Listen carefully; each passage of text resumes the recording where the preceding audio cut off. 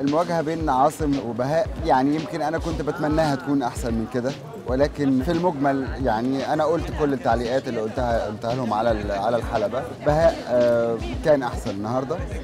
عاصم يمتلك إحساس و و وإمكانيات في صوته ولكن ينقصه بعض الأشياء اللي محتاجة وقت كبير لأن هو بيغني لوحده حلو قوي مع المزيكا بيبتدي شوية ما يبقاش في أحسن حالاته. أنا قلت له أنا هتواصل معاك لأن أنا عندي إحساس إنه عاصم هيبقى آه، هيبقى له مستقبل كويس.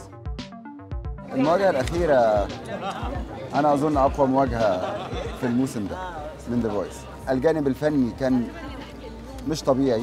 كمية الأحاسيس والمشاعر اللي في صوتهم وفي غناهم كانت مش طبيعية especially من من وئام. أنا وئام صوت أنا في حياتي ما يعني ما كنتش أتخيل إن أنا ممكن يبقى في صوت حد بيعمل فيا كده كل ما يغني.